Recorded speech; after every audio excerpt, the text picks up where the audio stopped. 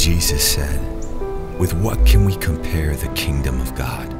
Or what parable shall we use for it? It is like a grain of mustard seed, which, when sown on the ground, is the smallest of all the seeds on earth. Yet, when it is sown, it grows up and becomes larger than all the garden plants, and puts out large branches, so that the birds of the air can make nests in its shade.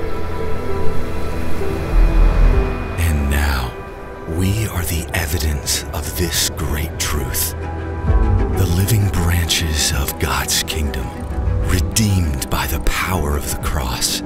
We've been grafted into his family, adopted as sons, and commissioned as saints.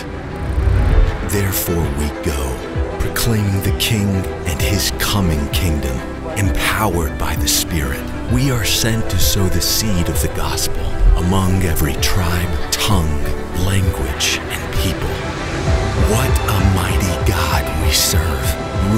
of heaven and earth, worthy of our every word, every thought, every breath. We exist to make his name known. He is our Father, undying in love. He is our Lord, our Redeemer, our King.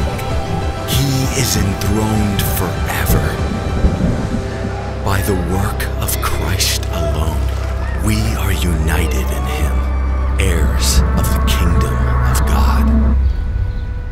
Reminded by the humblest of seeds.